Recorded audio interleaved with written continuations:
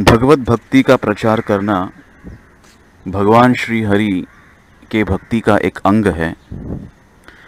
कारण इसमें भगवान श्री हरि के नाम रूप लीला, भगवत विज्ञान तत्वों का कीर्तन होता है और इससे पीड़ित बद्ध जीवों को श्रवण करने का अवसर प्राप्त होता है। निष्कपट अनन्य शुद्ध भाव से अगर भगवान की भक्ति का प्रचार करें तो यह सर्वोत्तम जगत कल्याण का कार्य है।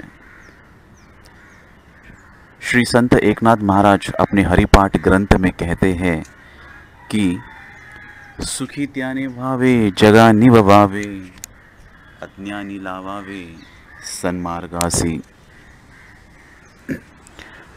भगवत प्रचार कार्य से ही भौतिक जगत के विमूढ़ अज्ञानियों को सुख प्राप्त हो सकता है। यदि कोई सुखी होना चाहे तो हरि भक्ति का अनुशीलन और प्रचार यह दोनों अति आवश्यक है। भौतिक सुख, भौतिक ज्ञान, संपत्ति, संबंध आदि जीवों को कभी भी संतुष्ट नहीं कर सकती। जीव का कल्याण केवल भगवान श्री कृष्ण के भक्ति में और वैष्णवों के संग में और भक्तिहीन कृष्ण बहिर्मुख लोगों को हरि भक्ति के सन मार्ग पे ले जाने से ही होगा। इस आधुनिक वैज्ञानिक विकास के नाम पर वेद और वैदिक परंपरा, वैदिक कर्तव्यों का खंडन हो रहा है। सनातन वैदिक धर्म के आधार पर ही परमार्थ या भागवत धर्म का अनुशीलन करने से ही हमारा जीवन सफल हो सकता है। भगवान श्री कृष्ण कहते हैं भगवत गीता, पंद्रहवा अध्याय, सातवां श्लोक। ममैवांशो जीवलोके, जीवभूतः सनातनः। मनषष्ठानि इन्द्रियाणि प्रकृतिस्थानी कर्षति प्रत्येक जीव केवल श्री कृष्ण का नित्य सनातन विभिन्न अंश है। परंतु बद्ध अवस्था में इस भौतिक जगत में जड़ीय मन और इंद्रियों को आकर्षित करके अपने आप को भारी श्रृंखला से बंधा हुआ है। तो ऐसी अवस्था में केवल वैष्णव गुरु का आश्रय लेकर अपने आप को इस भौतिक पीड़ा से मुक्ति पाकर श्री कृष्ण की प्रेममय सेवा का अखंड आनंद प्राप्त कर सकता है।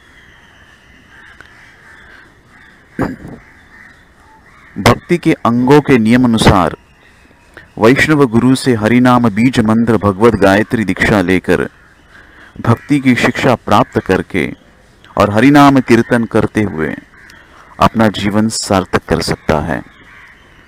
बस यही एक उपाय है।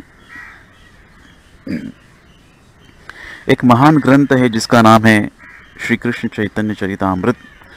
जिसके लेखक हैं श्री कृष्णदास कविराज गोस्वामी, महान संत। तो वे अपने इस ग्रंथ में लिखते हैं, श्री गौरांग महाप्रभु अपने भक्त श्री रूप गोस्वामी को भक्ति का उपदेश करते हैं। कहते हैं कि भक्ति ये विशाल सागर की तरह है। और इस भक्ति की शिक्षा में केवल एक उस सागर के बिंदु मात्र के प्रमाण से मैं आपको दे रहा हूँ।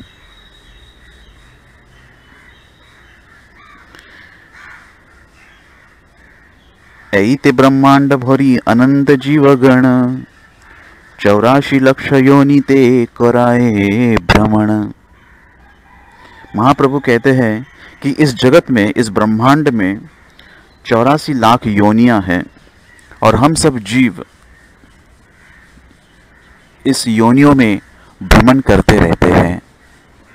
जिस प्रकार बंदर एक पेड़ से लेके दूसरे पेड़ पर, दूसरे पेड़ से लेके तीसरे पेड़ पर, फिर चौथे, फिर पाँचवें, जिस प्रकार छलांग लगाता रहता है, उसी प्रकार हम जीव एक शरीर से दूसरे शरीर में फिर तीसरे शरीर में। और इसी प्रकार हम चौरासी लाख योनियों के शरीरों में घूमते रहते हैं। और ये बहुत ही पीड़ा, पीड़ाकारी होता है, बहुत ही से पीड़ा हमें मिलती है, एक शरीर से दूसरे शरीर में जाना। विष्णु पुराण में कहा गया है, जलजनवलक्षाणी स्थावर लक्ष विंशति। क्रमयो रुद्र संख्याकाः पक्षिणां दशलक्षणं त्रिंशल्लक्षानि पशव चतुर्लक्षानि मानुषः। नौ लाख योनिया है जलज, जो जल में रहने वाले प्राणी। और 20 लाख योनिया है स्थावर, यानी पेड़, पौधे। 11 लाख योनिया है क्रमण क्रमण करने वाले प्राणी जिस प्रकार सर्प, मगरमच्छ, और 10 लाख योनिया है पक्षियों की। त्रिंशल लक्षानी पशव, तीस लाख योनिया है चार पैर पे चलने वाले प्राणियों की, और चतुर्लक्षानी मनुष्य, और चार लाख योनिया है मानवों की, मनुष्य जाति। तो जीव इन सभी योनियों में घूमता रहता है। और ये बहुत ही, इसमें बहुत ही जीव को पीड़ा होती है, बहुत ही कष्ट होते हैं। और वास्तविक में ये जीव एक अविनाशी तत्व है, ये भगवान का अंश है। न जायते म्रियते वा कदाचिन्नायं भूत्वा भविता वा न भी भूयः। अजो नित्यशाश्वतोऽयं पुराणो न हन्यते हन्यमाने शरीरे। भगवद गीता दूसरा अध्याय, श्लोक बीस। सोल को कब, जीव को कभी जन्म या मृत्यु कभी भी नहीं है। न जीव कभी अस्तित्व में आता है न उसका कभी नाश होता है। वो अजन्मा है, नित्य है, शाश्वत है। और अगर शरीर की हत्या हो, अगर शरीर को नष्ट किया जाए तो जीव जीव को नष्ट, जीव कभी नष्ट नहीं होता। न हन्यते हन्यमाने शरीरे। और जीव कैसा है? तो उपनिषदों में कहा गया है, केशाग्र केशाग्र शतके भाग पुनः सताम शकरी। तारा सम सूक्ष्म जीवेर स्वरूप विचारी केशाग्र शत जीवः सूक्ष्मः स्वरूपयं संख्यातितो हि चितकणः जीव एक चित्त कण है। चित्त कण यानी चिन्मय वस्तु है। मृत वस्तु नहीं है, हमारा शरीर जड़ मृत है, पर जीव ये चित्त कण है, जिसमें चेतना है और अति सूक्ष्म है। और इसका आकार कैसा है?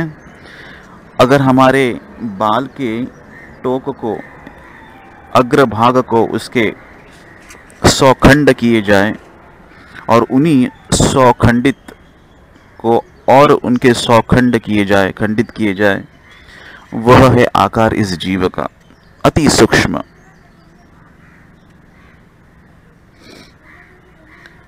बालाग्रशतभागस्य शतदा कल्पितस्य च भागो जीवः सविज्ञेय चाह परा श्रुति तो श्वेताश्वतर उपनिषद में कहा गया है कि इस बाल के नौक को अगर उसके सौ टुकड़े किए जाए और उन्हीं सौ टुकड़ों को फिर से उनके सौ टुकड़े किए जाए, वह जीव का आकार है, अति सूक्ष्म। सूक्ष्म नाम अपि अहम जीव। भगवान कृष्ण कहते हैं कि सभी सूक्ष्म वस्तुओं में मैं एक जीव हूँ।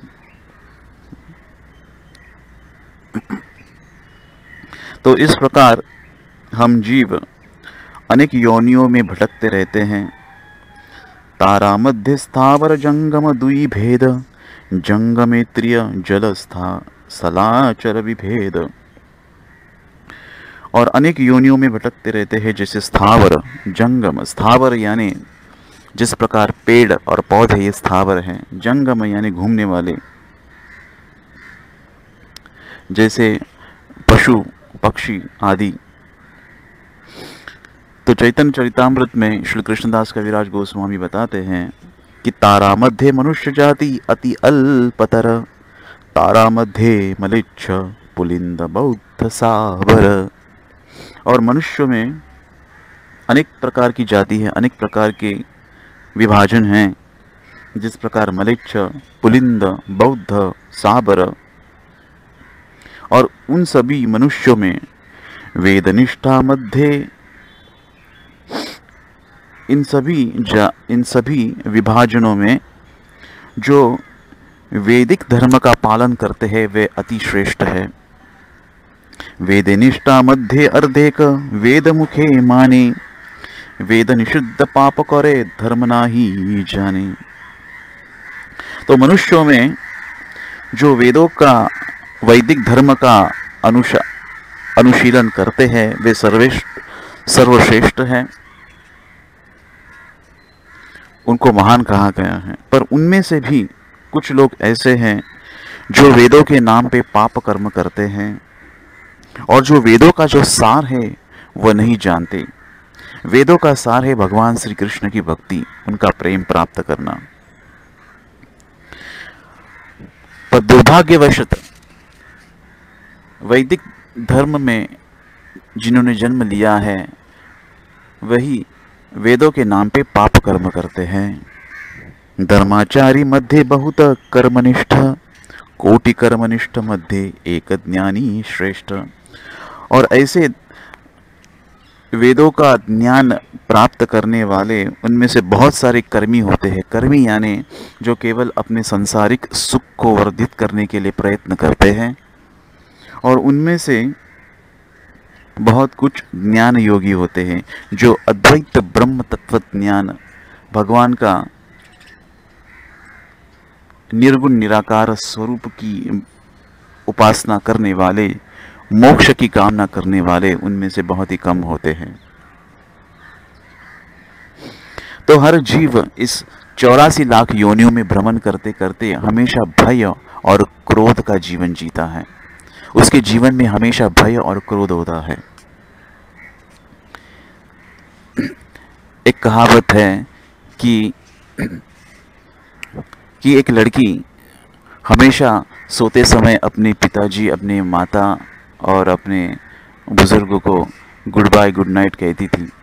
तो एक बार उसने अपने पिताजी को कहा, गुड नाइट। सभी को गुड नाइट कहा। फिर अपने दादी को उसने गुड बाय कहा। तो सब आश्चर्यचकित हो गए और दूसरे दिन देगा वो दादी मर गई। और फिर से हमेशा की तरह वो लड़की सबको गुड नाइट कहती थी, फिर दादाजी को गुड बाय कहा और देखा दूसरे दिन दादाजी मर गए। तो उसके पिताजी को भय होने लगा, अभी अब अभी मेरी पा, अभी मेरी बारी है।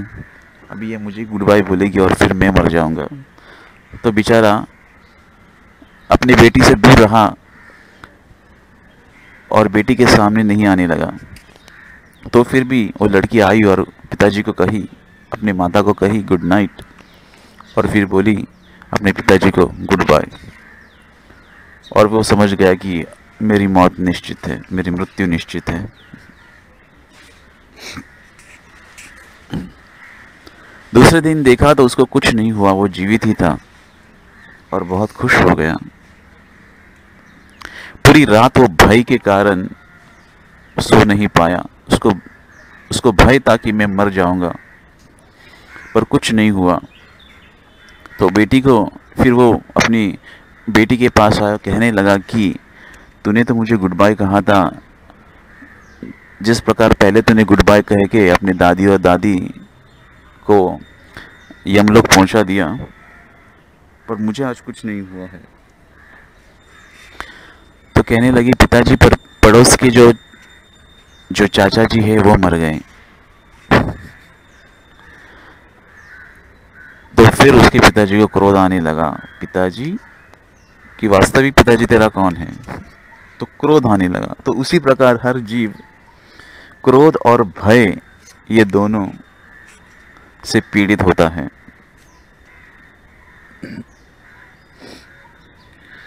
तो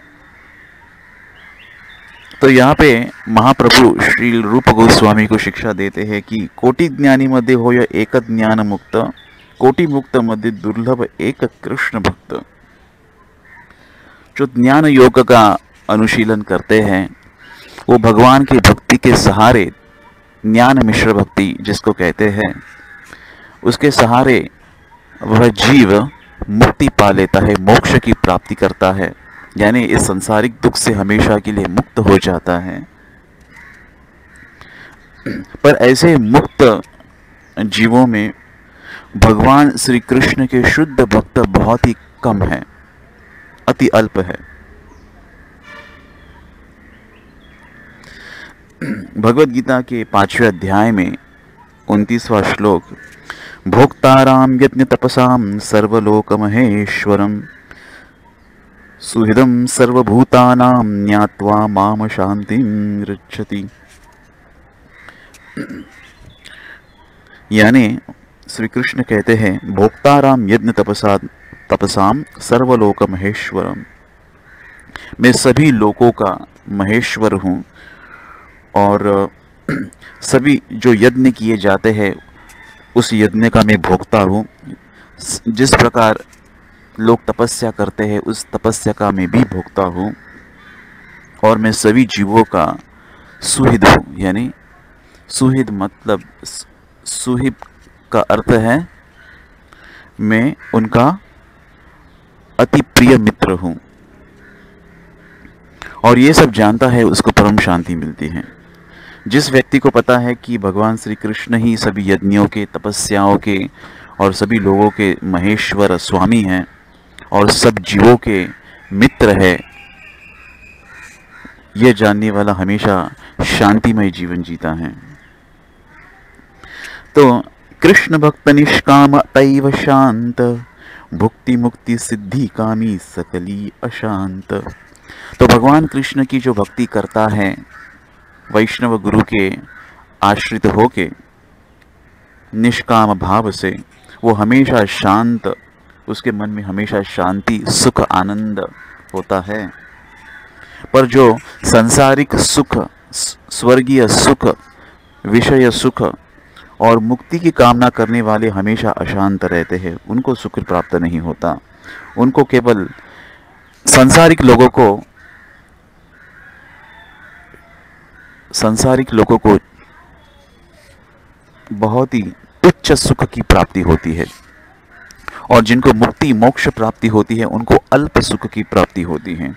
पर जो भगवान के भक्त है, उनको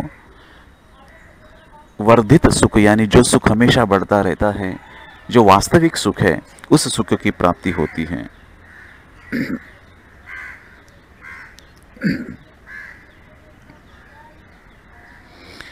और तो भगवान कृष्ण कहते हैं कि भगवान की भक्ति, उनका भक्ति का अनुशीलन केवल उनका प्रेम प्राप्त करने के लिए चाहिए। और वो भक्ति कैसी होनी चाहिए?